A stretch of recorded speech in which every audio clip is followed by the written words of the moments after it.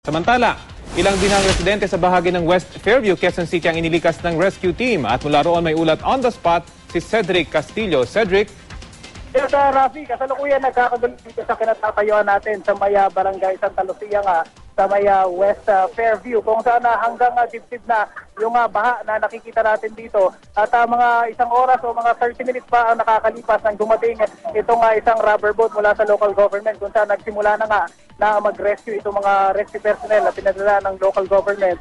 At uh, kanina ay uh, umula pa kanina madaling araw ay uh, nakapag-set up naman itong mga residente rito ng mga lubid na tinali nila sa mga puno para sila-sila muna yung uh, mag-rescue gamit sa salbabida at kung ano man yung mga palutang na ma- makukuha nila. At uh, Rafi, ito ilang minuto pa yung nakakalipas, nakita natin na bumalik itong uh, rubber boat para dun sa unang batch sana ng mga ni-rescue. Ang kapansin-pansin dito, eh walang sumakay doon sa mga residente na mga inikutan daw nila. Sa pagkakaalam natin, ay may mga 50 families pa na naiwan doon sa areang bina- bahang-baha dito nga sa may ah, barangay Santa Lucia.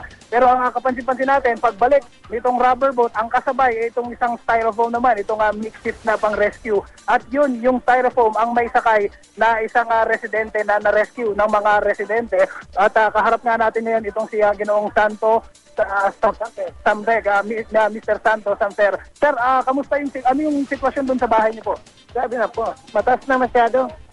Ah, lagpas na sa bubungan namin. Ilang oras na po kayo nasa baha? Ah, alas 10 nandun na ako eh. Ngayon lang ako umuwi.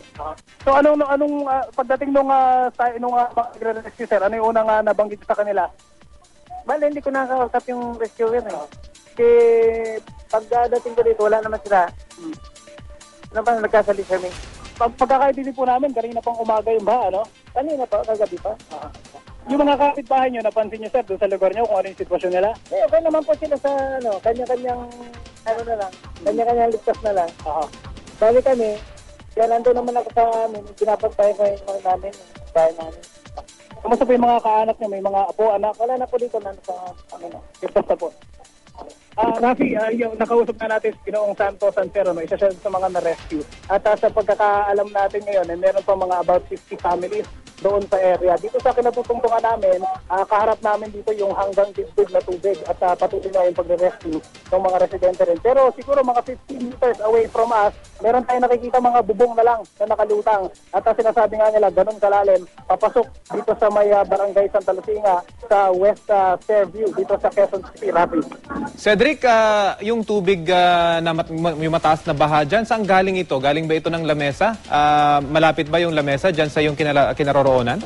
Kaya ang, ang sinabi sa atin ng mga barangay officials dito, ang paniwala nila kasi dalawang ilog daw yung ah, namamagitan sa kanilang ah, lugar. Isa nga dito nga ah, ilog na tulyaan. At ang ah, paniwala nila ay ah, nagsasalubong yung dalawang tubig na umaapaw. Kaya lalong du- ah, tum- tumaas nga yung ah, tubig dito. Ito Rafi, sa kasalukuyan ay ah, padating na ito nga yung rubber boat ulit para sa second batch naman ng kanilang ah, deployment. At ah, nakikita natin, merong mga bata, may mga babae, may mga dala silang payong.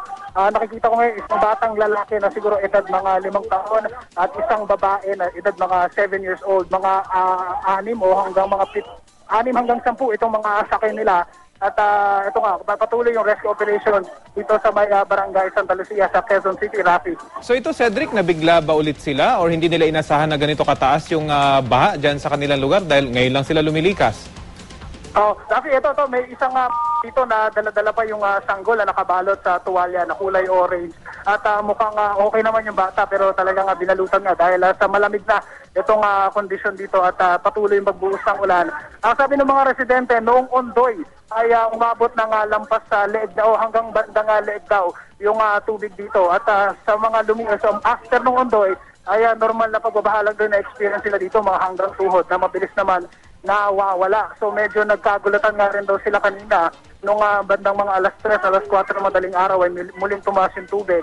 Although nakausap natin yung isang ah, barangay official, ang sinabi nila hindi raw sila nagkulang kasi simula pa ng mga nakalipas na araw hanggang kahapon, eh mayroon na silang ah, warning kasi na inabisuhan nila yung mga residente na kung maaari eh lumikas na. Meron nga silang marker na ginawa daw na in-educate nila yung mga residente na sinabi nila itong marker na to kapag umabot na dito yung ah, level ng tubig ay pakiusap magsialisan na po tayo sa mga bahay but then ang sabi nila very, very ah, sad to say daw ay ah, hindi nakinig yung ilang mga residente at sinabi pang araw sa kanila na okay lang, daw sila at hindi daw nila kailangan ng rescue. Ito nga, ang nangyari ngayong araw na ito ay may mga na, pamilya pa na natrap dito sa kinaroroonan natin, Rafi.